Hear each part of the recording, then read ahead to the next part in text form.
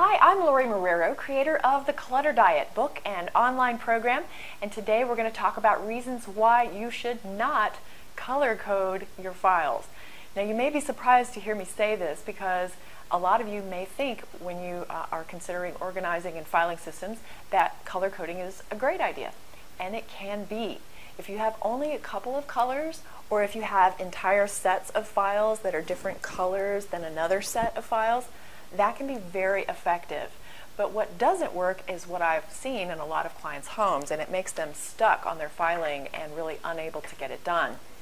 It's hard enough to get our filing done. Nobody really loves it. So this is, um, you know, these are a few of the reasons why you might get stuck on this. So first of all, they've got all different colors, lots of them for different things. So they've got green for financial, blue for the kids, and purple for personal, and red for, you know, important, and then the yellow might be some other hobby or something. And they've got all these different colors to keep track of. Well, the very first problem is that that gives you yet another decision that has to be made about your papers. So we've talked about how organizing is a lot about making decisions. So if you've put yet another decision in front of you before you get to file that paper, you may not be able to decide. There are a lot of ambiguous papers out there where it could easily be green for financial or purple for personal.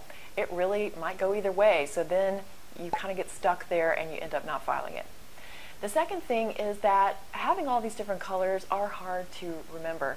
Again, if you just have two, maybe three colors, that actually might be effective. But if you have five or six or seven, you probably need to have a little key that you've written out for yourself with a little guide to which color is which and that is yet another impediment to your filing.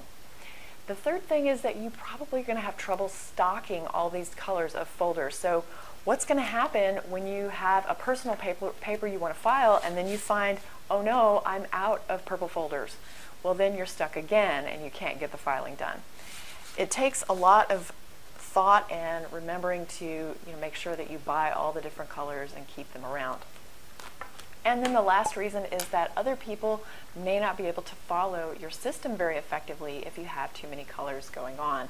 So someone might walk into your office and open the file drawer and just be, you know, bewildered with all the different colors and not sure, especially if they're trying to file for you. They may not know how to make that decision, how to remember what that color is later, and so on. So think about that as you approach your filing. And if you need help with your filing system, we can help you personally in our member message boards. You can join our program free for 14 days and get all the help you want from our team of organizing experts. You can find out more about this at clutterdiet.com slash learn more. See you next time, and may you always be happy and grateful for having more than enough.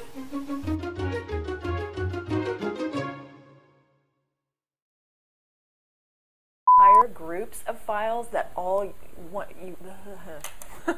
okay. Somebody else might walk into your drawer, or not walk into your drawer. now you may be surprised to hear me say that, but